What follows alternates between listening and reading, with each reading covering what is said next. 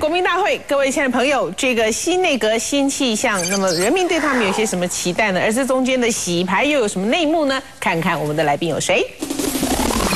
杨宪宏，资深媒体人，擅长分析政治人物特性，对马政府内阁总辞后的政治局势有深入的观察。郑佩芬，资深媒体人，政商关系良好，熟知吴敦义、朱立伦与妻子的互动关系及经营婚姻的小故事。中年化资深媒体人，了解吴敦义和朱立伦长期经营的政治生涯，对吴朱配出现有不同见解。陈敏凤，资深媒体人，剖析新内阁人士，对吴敦义及朱立伦当年的绯闻攻讦内幕有详细的叙述。张伟忠，命理专家，擅长以面相及紫微分析人物性格及运势，解析辛格魁命盘对马政府的影响。今年二月，吴敦义突然在立法院一场罕见的严厉质询刘兆玄。两院之间还有争执，我们会这才是总统出来嘛？怎么会让总统亲临火线？我建议你学一学台语嘛。好朋友才。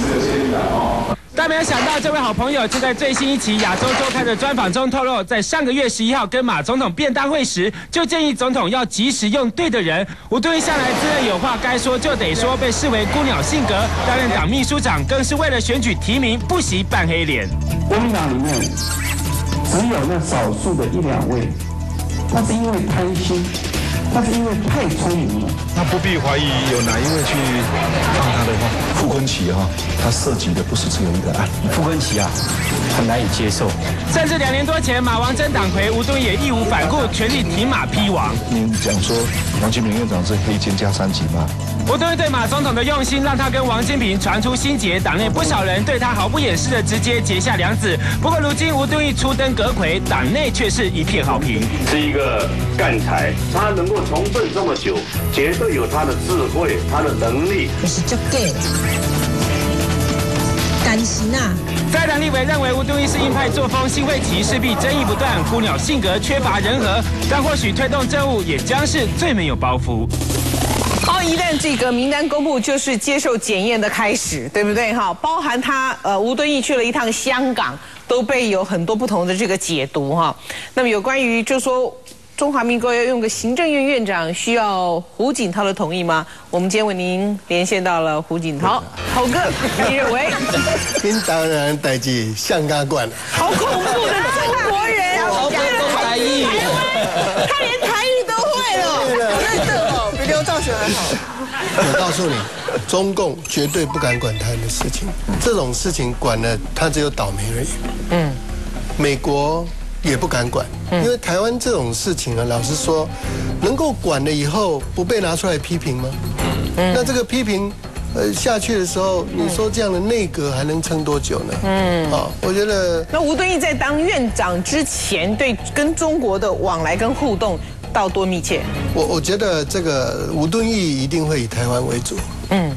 呃，中国实在不是他的强项。嗯，你你他不像其他的这些呃，这个这个民国民党的这些所谓的呃国共平台派啦，或是说其他常常走的走那边的人，我觉得他会以台湾，因为他知道他比较清楚，而且事实上现在马英九用吴敦义出来，也想要挽救这一块。嗯哼哼。讲白一点了哈，从二零零八年五二零以后打的中国牌，基本上没有成功啊。嗯，你说七月什么飞机飞来飞过去会创造多少？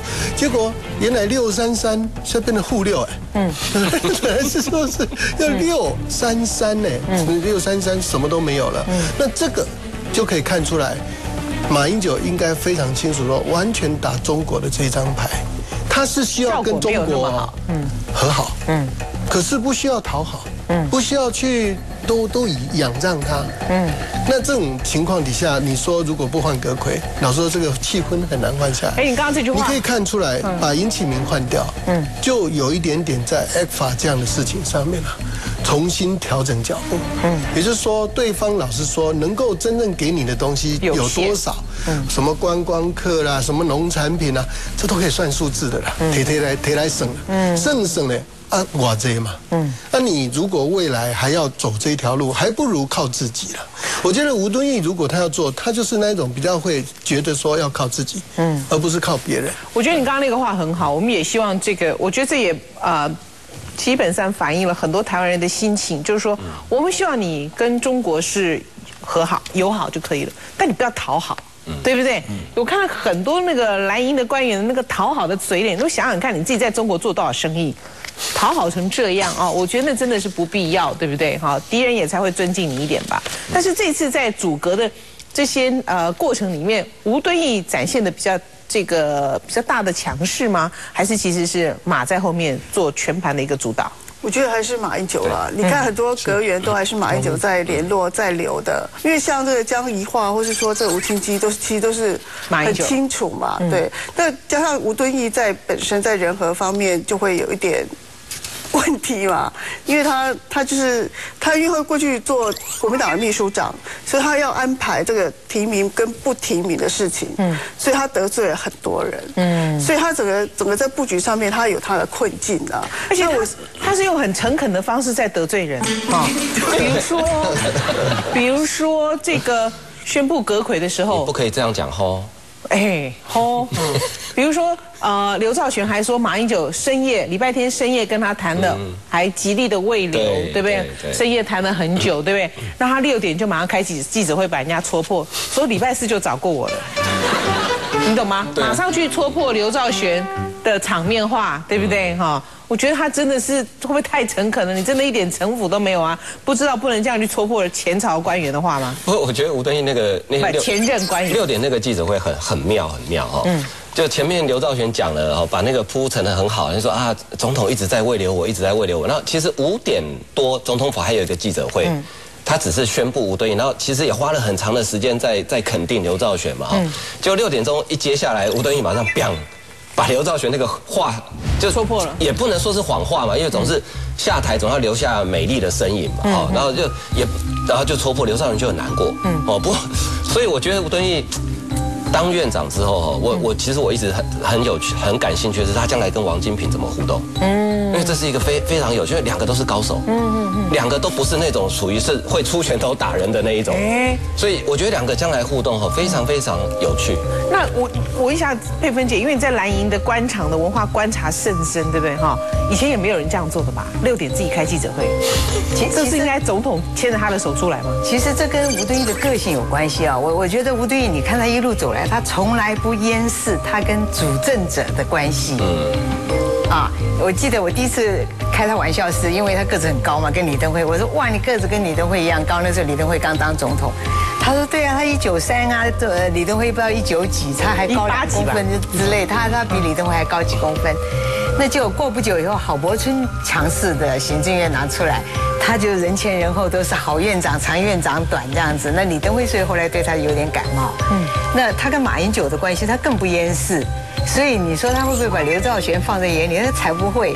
他。”跟马英九的关系啊，就是说在吴伯雄面前他都不掩饰的。那个时候他只是秘书长。嗯，我记得有一次党里面开会，然后那个吴伯雄只是变成就是好像一个形式坐在那边，都是他在讲话。那那时候刚刚呃就职不久嘛，大家就开始骂。那他不是一开始就油油价要涨一次涨足之类，然后民怨就开始起来。其实马政府真的民怨开始是那个时候开始。嗯，结果那吴敦义立刻哦就当着所有的党的呃。